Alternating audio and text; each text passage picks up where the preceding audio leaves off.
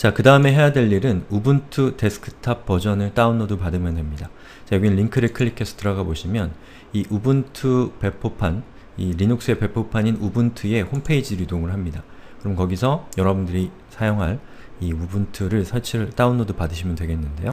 그 중에서 이 start download라는 버튼을 클릭하시면 이 우분투를 다운로드하기 시작하게 됩니다. 이 우분투는 파일 용량이 꽤 크기 때문에 이 다운로드 받는데 시간이 많이 걸립니다. 저는 그 시간을 skip했고요. 여러분들은 다운로드가 끝날 때까지 기다리셔야 됩니다. 자, 저는 우분투 12.04 데스크탑 i386.iso 라고 하는 이 파일을 다운로드 받아서 제 컴퓨터에다가 이렇게 저장을 해놨습니다. 그럼 우리는 버추얼박스에서 가상 머신을 생성하고 그 가상 머신에서 이 ISO 파일을 읽어들여서 우분투를 가상머신에 설치하는 작업을 진행을 하겠습니다. 자, 버추얼박스를 제가 실행을 시켰고요. 이 버추얼박스에서 새로 만들기라고 하는 버튼 보이시죠? 이게 운영체제가 다르면 UI가 조금씩은 다를 수가 있습니다. 그러니까 그거는 감안하셔서 저를 따라오시면 되겠습니다. 자, 새로 만들기를 클릭하면 새 가상머신 만들기라는 화면이 나타납니다. 자, 그 중에서 다음 버튼을 누르고요. 이름을 적는데 저는 이미 생활코딩 웹서비스 만들기 실습이 있기 때문에 그냥 생활코딩 웹서비스라고 이름을 적겠습니다. 여기 있는 이름은 별 의미가 없어요. 그냥 이 가상머신을 관리하는 이 화면에서 어떻게 표시되는가에 대한 예, 의미를 가지고 있는 거니까요. 여러분들 원하는 이름을 아무거나 적으시면 되겠습니다. 생활코딩 웹서비스 실습이라고 적고요. 자, 운영체제 종류에는 요 밑으로 쭉 내려가 보시면 리눅스가 있습니다. 그 중에서 버전에서 우분투를 선택하시면 됩니다. 자, 우분투 그리고 다음 버튼 누르시면 돼요. 자, 다음에 메모리를 지정을 하는데요. 이 메모리는 여기 있는 녹색 영역 안에서 여러분들이 선택을 하시면 됩니다. 그렇다고 붉은색으로 넘어가게 되면 이 가상머신 자체가 너무 많은 메모리를 소유해서 가상머신 바깥쪽에 있는 여러분의 진짜 컴퓨터 운영체제가 사용할 메모리가 줄어드는 문제가 생길 수가 있기 때문에 적당한 메모리를 지정하시면 되고요. 어, 뭐 저 같은 경우는 뭐 한 요정도 어, 이게 1메가 정도 되죠? 아니 1기가 정도 되죠? 그렇게 설정을 했고요. 여러분은 자신의 컴퓨터의 환경에 맞게 적당하게 어, 지정을 하시면 되겠습니다. 최소한 512, 512MB보다는 많게 지정하는 게 좋습니다. 자, 그 다음에 다음 버튼을 누르면 이 가상 하드디스크를 지정을 하는 건데요.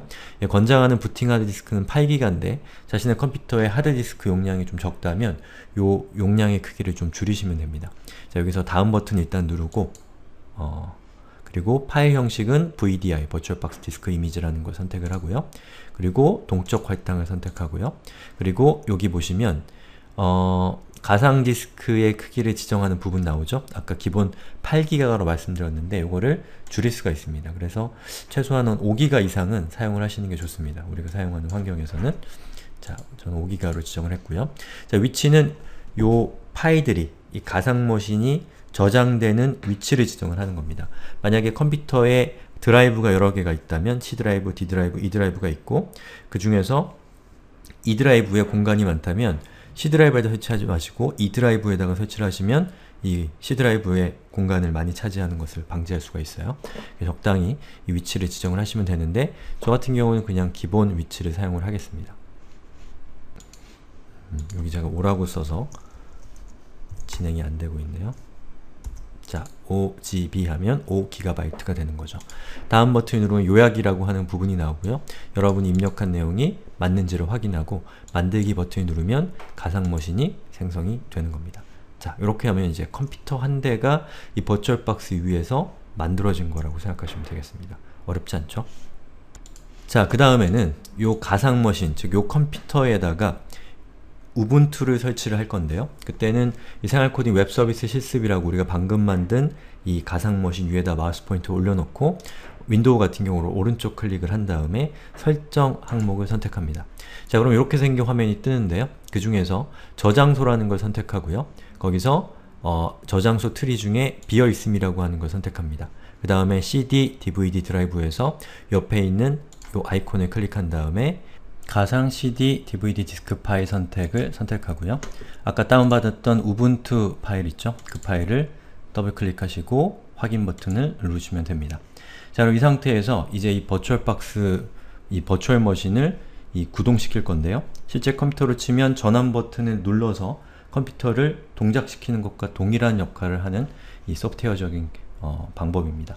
자 여기서 요 가상 머신을 선택한 다음에 시작 버튼을 클릭하시면 됩니다. 자 그럼 이렇게 생긴 화면이 뜨고요.